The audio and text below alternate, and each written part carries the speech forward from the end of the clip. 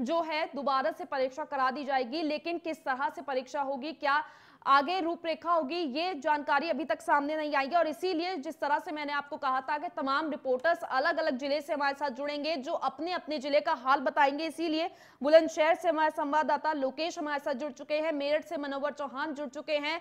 Manoeuvre, सबसे पहले आपके पास आना चाहूँगी मैं आज ये परीक्षा टीटी की रद्द कर दी गई है। अगर मेरठ की बात की जाए, मेरठ में हालात कैसे हैं? क्या मेरठ में भी आक्रोश अभ्यर्थियों में देखने के लिए मिल रहा है? तौर पर आक्रोश तो देखने को मिलेगा ही, क्योंकि पूरे उत्तर प्रदेश के अंदर जो परीक्षाएँ थी, चल रही थी, लेकिन अचानक से पेपर लीक होता है और मेरठ एसडीएफ पश्चिम उत्तर प्रदेश के शामली से तीन लोगों को उठाता है और इसी प्रकार सत्ताईस लोग माना जा रहा है अब तक हिरासत में है, जिनसे पूछताछ की जा रही है, जो कि सोलवर गैंग के सदस्य हैं। ऐसे में परीक्षा को रद्द कर दिया गया। दो पालियों में परीक्षा होनी थी।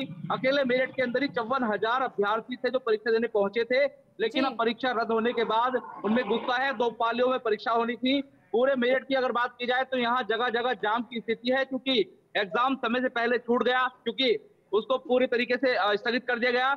और पूरे मेरठ के अंदर काफ़ी परीक्षा केंद्र थे। तमाम जगह अब जाम की स्थिति है क्योंकि पहले ही मेरठ के अंदर मेट्रो और रेपिड का काम चल रहा है। उसके अलावा यहाँ पर चौवन हज़ार स्टूडेंट और उनके वाहन पहुँचे और इस तरीके से परीक्षा रद्द हुई है, उनमें खास बताया जा रहा है कि इसी महीने में कराया जाएगा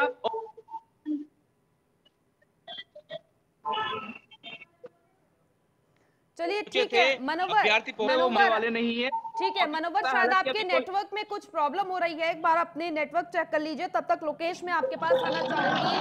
जिस तरह से देखिए मनोवर भी बता रहे हैं कि मेरठ में तो जाम जैसी स्थिति बनी हुई है क्योंकि परीक्षा जो है समय से पहले छूट गई। अभ्यर्थी जो है अपने अपने घर समय से पहले पहुँच रहे थे इसीलिए जाम जैसी स्थिति बनी हुई है। अगर बुलंदशहर की बात की जाए तो बुलंदशहर में भी हालात कैसे है? जी देखिए मैं आपको बता दूँ बुलंदशहर में फ़िलहाल ऐसा कुछ भी नहीं है अभी। हालाँकि परीक्षा बुलंदशहर में भी होनी थी और मैं आपको बता दूँ कि लगभग तेईस केंद्रों पर बीस हज़ार परीक्षार्थी इस परीक्षा को देने वाले थे, लगभग क्लासरूम में बैठ गए थे पेपर सीट भी बढ़ चुकी थी। लेकिन अचानक से जो मैसेज आता है, उस मैसेज को जब टीचरों ने देखा तो परीक्षा को स्थगित कर दिया गया और छात्रों को कहा गया कि परीक्षा को स्थगित करने का रीजन आपको हम बताएँगे थोड़ी देर में कि परीक्षा को क्यों स्थगित किया जा रहा है। उसके बाद में जो परीक्षा को स्थगित किया गया तो छात्रों में कहीं ना कहीं थोड़ा सा रोज जागा जिसके बाद उनको रीजन बताया गया कि क्यों परीक्षा को स्थगित किया गया है क्योंकि बुलंदशहर ज़िले का नाम सामने आ रहा था व्हाट्सएप ग्रुप में लगातार ये चर्चाएँ हो रही थी कि बुलंदशहर और मथुरा और गाजियाबाद व्हाट्सएप ग्रुप में पेपर लीक किया गया है लेकिन अभी हालाँकि अधिकारियों की बात करें तो ऐसी कोई स्थिति सामने नहीं आई है कि बुलंदशहर में ऐसी कोई जो गैंग है वो सक्रिय है जिन्होंने पेपर लीक किया है। आगे की जाँच के लिए जो है वो अधिकारी कह रहे हैं कि शासन स्तर पर भी जाँच चल रही है और जैसे ही कोई भी क्लू सामने आता है निकलकर, वो बताया जाएगा। छात्रों की अगर बात करें तो बिल्कुल थोड़ा बहुत आक्रोशन में है, लेकिन ऐसी कोई स्थिति नहीं है कि बिल्कुल जाम जैसी कोई स्थिति लग जाए बुलंदशहर में, ऐसा कुछ नहीं है। जी। बिल्कुल लोकेश, और अगर किसी इस, देखिए पूरे मामले में अब तक जिस तरह से मनोवर ने अपडेट दिया कि 27 लोगों की गिरफ्तारी हो चुकी है, क्या बुलंदशहर से भी किसी की अब तक गिरफ्तारी हुई है? देखिए, जैसे हमने बात की इस पूरे मामले में कि बुलंदशहर से भी जो है नाम चर्चा में आ रहा है कि बुलंदशहर में भी ऐसा कोई गैंग है क्या? आखिर ये पेपर कैसे लीक हुआ? तो अधिकारियों ने भी इस पर साफ़ कहने पर इनकार कर दिया है कि बुलंदशहर में अभी जो भी जाँच है वो हम लोग कर रहे हैं, ऐसा कुछ अभी सामने नहीं आया है कि कौन लोग हैं, कौन नहीं। ये पूरी जैसे ही जाँच आगे बढ़ेगी, जो भी तथ्य सामने आएँगे, उसको मीडिया के सामने भी लाया जाएगा और आगे की जो कार्रवाई है उसको भी की जाएगी। चलिए ठीक है, लोकेश आप बने रहिए मनोवर आपके पास आऊँगी मैं। जिस तरह से देखिए, अभी आपने बताया कि मेरठ में आक्रोश भी देखने के लिए मिल रहा है अभ्यर्थियों में, साथ ही साथ जाम जैसी स्थिति भी है।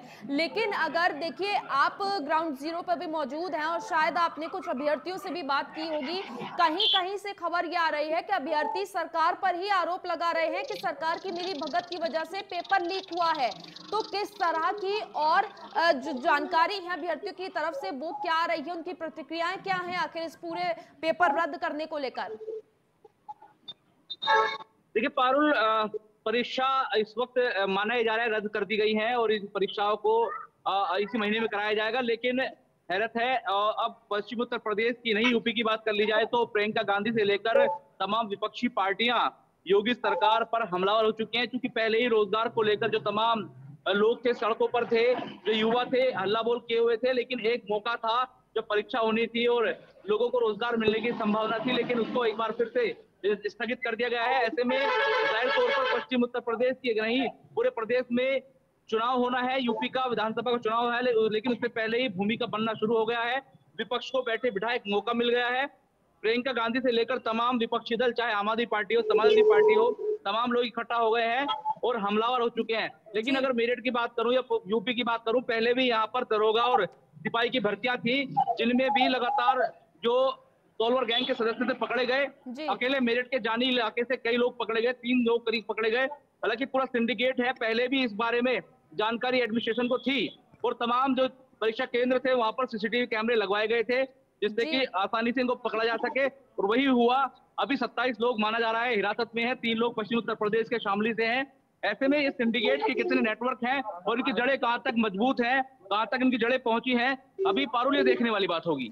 बिल्कुल, मनोवर, लोकेश, देखिए, जिस तरह से मनोवर लगातार जानकारी दे रहे हैं कि इससे पहले भी परीक्षाएँ जो हैं वो रद्द हो गई थी और क्योंकि पेपर लीक हुआ था। लेकिन देखिए, इस बार एक अहम बात ये थी कि लगातार सरकार की तरफ़ से ये कहा जा रहा था कि लाइव सीसीटीवी सर्विलांस के अंडर में ये परीक्षाएँ कराई जाएँगी। उसके बावजूद भी क्यों इतनी बड़ी चूक हो जाती है? और ये कोई पहली बात, पहली बार नहीं है कि इस तरह के पेपर लीक हुए हों। सरकार देखिए भले ये कह रही है अब योगी आदित्यनाथ का बयान सामने आ गया कि पारदर्शी परीक्षा हम दोबारा से कराएँगे। लेकिन इतनी बड़ी परीक्षा का आयोजन कराना ही बहुत बड़ी बात है और एक महीने में किस तरह से पॉसिबल हो पाएगा लोकेश? देखिए ये चैलेंज है बहुत बड़ा चैलेंज है सरकार के लिए कि इतनी सतर्कता बरतने के बाद भी परीक्षा लीक हो गई। जी। अब अगली जो तारीख है वो अभी सुनिश्चित नहीं की गई है कि अगला एग्ज़ाम कब होना है। हालाँकि जब भी डेट सुनिश्चित की जाएगी अब ये चैलेंज है कि सरकार आगे जो परीक्षा की डेट आएगी कैसे परीक्षा कराई जाएगी और आगे ये पेपर लीक ना हो उसको भी ध्यान में रखते हुए कैसे सुरक्षा की व्यवस्था के जो इंतज़ाम है वो होंगे ये आगे देखने वाली बात होगी। बिल्कुल, लोकेश। और देखिए, अभी अगर बुलंदशहर की बात की जाए तो क्या वहाँ पर अब सब कुछ शांत है? क्योंकि जिस तरह से देखिए, आपने बताया, वहाँ पर अभी स्थिति कुछ वैसी बिगड़ी हुई नज़र नहीं आई थी, लेकिन क्या वहाँ पर भी अभ्यर्थियों में आक्रोश था? क्योंकि परीक्षा रद्द हुई। जी, बिल्कुल। देखिए, जो तैयारी थी परीक्षार्थियों ने जो तैयारी की थी, और अचानक से एग्ज़ाम जो है, वो स्थगित हो गया तो बिल्कुल ये आक्रोश वाली बात है और गुस्सा भी आना चाहिए हमारी जैसी बात हुई हमने छात्रों से भी बात की तो उन्होंने कहा कि जो हमारी तैयारी थी वो हमने बहुत अच्छी तैयारी की थी और आज जब इस तरह से हमें ये सुनने को मिला कि जो परीक्षा है उसको स्थगित कर दिया गया है तो कहीं ना कहीं हमें बुरा लग रहा है क्योंकि आज का पेपर उन्होंने ये भी बताया कि आज का पेपर बहुत आसान होने वाला था और उन्होंने बहुत अच्छी तैयारी की थी जिसके बाद ये परीक्षा स्थगित कर दी गई। लेकिन ये कहीं ना कहीं जो भविष्य है जिन परीक्षार्थियों ने तैयारी की थी उनको ध्यान में रखते हुए परीक्षा को स्थगित किया गया है, क्योंकि ये कहीं ना कहीं उनके साथ छल होता है। जी, ठीक है। लोकेश और मनोवर आप बने रहिएगा हमारे साथ और दानिश भी हमारे साथ लखनऊ से जुड़ चुके हैं। दानिश, जिस तरह से देखिए, पूरे यूपी में आज ये टीटी की परीक्षा रद्द हो गई है। लगातार मेरठ से भी हमारे संवाददाता जुड़े हुए हैं, बुलंदशहर से भी लोकेश जुड़े हुए हैं, जो जानकारी दे रहे हैं कि बुलंदशहर और मेरठ में कैसे हालात है। अगर लखनऊ की बात की जाए तो लखनऊ में क्या हालात है? क्या आक्रोश अभ्यर्थियों में देखने के लिए मिल रहा है वहाँ पर? और देखिए, फ़िलहाल आपको बता दें कि बच्चों ने जो, जिस तरीके से अभ्यर्थी थे, उन्होंने तैयारियाँ कर रखी थी और अचानक ये सूचना आती है कि यूपी की परीक्षा की पेपर लीक हुआ, उससे परीक्षा कैंसिल हो गई। तो मामले में चूँकि एस अभी जाँच कर रही है एस टी चेक कर रही है कि आखिर ये हुआ कैसे और फ़िलहाल के लिए परीक्षा एक महीने के लिए रद्द कर दी गई है और एक महीने बाद परीक्षा को दोबारा लिया जाएगा। लेकिन सबसे बड़ी हैरान थोड़ा हैरानी की बात यह है कि इस तरीके का जब कांड होता है तो कुछ दिन तक तो खुश शोर शराबा रहता है, जाँच चलती है, उसके बाद मामला ठंडे बस्ते में चला जाता है। लेकिन सवाल यहाँ पर यह है कि जो अभ्यर्थी, जो तैयारियाँ कर रहे थे, उनकी मेहनत पर कहीं ना कहीं पानी फिर गया है। केवल केवल इतना राहत दी गई है उनको कि उनकी फ़ीस दोबारा नहीं ली जाएगी। लेकिन सवाल ये है कि फ़ीस दोबारा नहीं लेंगे तो क्या इस तरीके की घटना या इस तरीके की जो पेपर लीक की जो आए दिन घटनाएँ होती हैं या आए दिन जो उनकी सूचनाएँ आती है, इस पर लगाम कैसे लगेगी? क्योंकि अक्सर देखा गया है बिल्कुल दानिश बिल्कुल दानिश देखिए ये तो कह दिया गया है कि फ़ीस दोबारा नहीं लेंगे लेकिन जो मेहनत तो इन अभ्यर्थियों ने की थी जो समय इन्होंने परीक्षा में की मेहनत करने के लिए दिया था वो समय वापस नहीं आ पाएगा फिर से इनके लिए। और कितने अभ्यर्थी देखिए ऐसे होते हैं कि हमें नहीं पता कौन किस परिस्थिति में परीक्षा के लिए तैयारी कर रहे हैं कौन किस तरह से कर रहा है। तो फिर भी कहीं ना कहीं उन बच्चों की उन अभ्यर्थियों की मेहनत पर पानी फिर गया है पूरी तरह से। और देखिए, बिल्कुल आपको बता दें, आपका कहना बिल्कुल सही है और ये सभी जानते हैं कि ये पहला कोई मामला नहीं है। चाहे वो सॉल्वर गैंग हो, चाहे वो परीक्षा के नाम पर पास कराने का खेल हो, चाहे वो रेलवे का खेल हो। अभी आपने हाल ही में देखा होगा कि डॉक्टरों की एमबीबीएस फर्जी डॉक्टर तमाम पाए गए। फर्जी आईपीएस पाए जाते हैं, फर्जी रेलवे के पाए जाते हैं। लेकिन ये कोई पहला मामला नहीं आज यूपीटीटी का पेपर लीक हो गया आप एक महीने बाद कहते हैं परीक्षाएँ दोबारा होंगी और बच्चों, आप जो अभ्यर्थी हैं, उनको केवल इतनी राहत देते हैं कि आपकी फ़ीस दोबारा नहीं ली जाएगी। लेकिन सवाल सिर्फ़ ये है कि 2021 की सरकार ने नीति तो बनाई, केंद्र से लेकर स्टेट गवर्नमेंट सभी लोग सभी तरीके के जो प्रयास किए जाते हैं, वो शिक्षा नीति में बदलाव करते हैं। सेमेस्टर सेमेस्टर बढ़ाते हैं, मगर इन चीज़ों पर लगाम क्यों लग पाती है, क्योंकि आप देख रहे हैं कि शिक्षा माफिया कहीं ना कहीं इतना ज़्यादा ताकतवर है, इतना ज़्यादा उसका सिस्टम है कि एक सिंडिकेट चल रहा है। इस सिंडिकेट को तोड़ना सरकार के लिए भी चैलेंज है और खास करके शिक्षा विभाग के शिक्षा अधिकारियों को भी चैलेंज है क्योंकि ये घटनाएँ सिंडिकेट में ही होती हैं और ज़्यादातर बिल्कुल बिल्कुल दानिश बिल्कुल चैलेंज तो है क्योंकि देखिए सरकार लगातार ये दावा करती थी कि हम नकल नहीं होने देंगे परीक्षा में और इस बार लाइव सीसीटीवी सर्विलांस के अंडर में परीक्षा होने वाली थी। दावा किया जा रहा था कि कोई भी गड़बड़ी होगी तो तुरंत पकड़ लिया जाएगा लेकिन गड़बड़ी तो छोड़िए परीक्षा शुरू होने से पहले ही इतना बड़ा मामला सामने आ गया कि पेपर लीक हो गया। हाँ बिल्कुल, देखिए, हम मैं वही कहना चाह रहा हूँ कि उत्तर प्रदेश सरकार हो या सेंट्रल गवर्नमेंट हो, सभी अपने अपने दावे करते हैं। हर बार चीफ सेक्रेटरी की पीसी होती है, हर बार सीएम की पीसी होती है। डिप्टी सीएम दिनेश शर्मा, उनकी पीसी अभी हाल ही में है कि 2021 की शिक्षा नीति में हम नकल विहीन परीक्षा कराएँगे। हम बहुत से प्रयास कर रहे हैं, लेकिन हमें एक सवाल जो जाता है अभ्यर्थियों को लेकर के कि जब से कुछ ऐसे कारण समाजवादी पार्टी की इससे पहले सरकार थी उसमें भी इस तरीके के मामले आते थे कि पता चलता था पेपर लीक हो गए या कोई डोनेशन का मामला था तो हाईकोर्ट ने उस चीज़ को रद्द कर दिया था। तो इसमें क्या होता था कि सरकार की जो किरकिरी होती थी साथ में जो अभ्यर्थी थे जो तैयारियाँ करते थे साल साल दो दो साल उनके ऊपर पानी फिर जाता था उनकी मेहनत उनका मनोबल टूट जाता है। अक्सर लोग बेरोजगारी की सबसे बड़ी वजह यही है।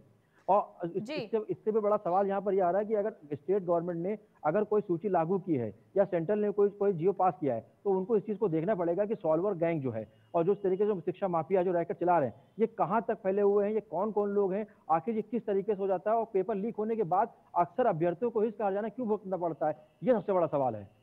जी बिल्कुल, दानिश आप बने रहिएगा। लगातार लोकेश भी बुलंदशहर से हमारे साथ बने हुए हैं। लोकेश, देखिए, जिस तरह से परीक्षा रद्द हो गई कैंसिल कर दी गई, अगले महीने कराने की बात की जा रही है, लेकिन अब यूपी सरकार की तरफ़ से ये फैसला लिया गया कि अभ्यर्थी जो है, वो एडमिट कार्ड दिखाकर सरकारी बसों से फ्री में घर जा सकते हैं। देखिए, जिन अभ्यर्थियों की मेहनत बेकार हो गई, जिनका पैसा बेकार हो गया, सरकार कहीं ना कहीं ये लॉलीपॉप ही देती हुई नज़र आ रही है अभ्यर्थियों को। क्या इससे अभ्यर्थी शांत हो पाएँगे?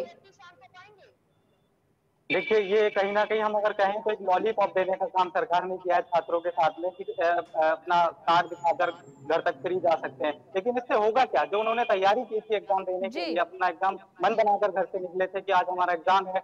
देखिए मैं आपको ये बताने भी चाहूँगा कि सरकार जो है लगातार ये दावे करती है कि हम विकास की ओर बढ़ रहे हैं। विकास की ओर तो सरकार बढ़ रही है, लेकिन रोज़गार की ओर सरकार कैसे बढ़ेगी? यदि इस तरह से जो परीक्षाओं में जो है वो लीक होती रहेंगी और जो भविष्य है देश का, यानी जो युवाएँ हैं, उनके साथ अगर इस तरह का खिलवाड़ होगा तो कैसे देश जो है आगे बढ़ेगा और कैसे रोज़गार दे पाएँगे? जी, चलिए ठीक है। लोकेश आपका और दानिश आपका बहुत बहुत शुक्रिया हमारे साथ जुड़ने के लिए, तमाम जानकारी के लिए। तो लगातार हम आपको तस्वीरें दिखा रहे हैं कि किस तरह से पूरे उत्तर प्रदेश में अभी हलचल मची हुई है। हालाँकि इक्कीस लाख से ज़्यादा अभ्यर्थियों को ये बड़ा झटका लगा है। परीक्षा रद्द कर दी गई टीटी की और ऐसे में पेपर पहले ही लीक हो गया। कहीं ना कहीं सरकार के लिए भी बहुत बड़ी चुनौती है। पाँच तस्वीरें एक बार फिर से आपको दिखा रहे हैं। बुलंदशहर, एटा, शामली, मथुरा और हरदोई की, जहाँ पर मायूस होकर किस तरह से इन अभ्यर्थियों को अपने अपने घर वापस लौटना पड़ रहा है। हालाँकि शामली में एसटीएफ को बड़ी सफलता ज़रूर हाथ लगी है कि तीन सॉल्वर गैंग के सदस्यों को गिरफ़्तार कर लिया गया है। लेकिन इस पेपर लीक का मास्टरमाइंड कौन है और किस तरह से ये गैंग सक्रियता किस तरह से गैंग काम करता है, अभी तक ये जानकारी जुटाने की कोशिश लगातार की जा रही है।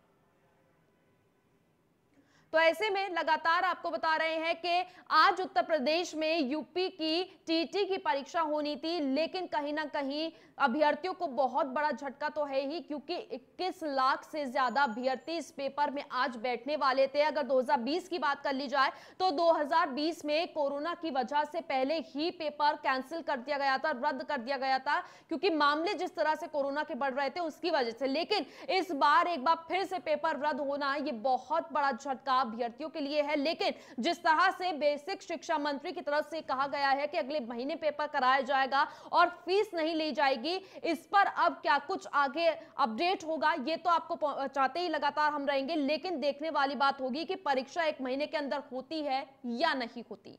फ़िलहाल के लिए बस इतना ही। आप देखते रहिए न्यूज़ वॉल इंडिया।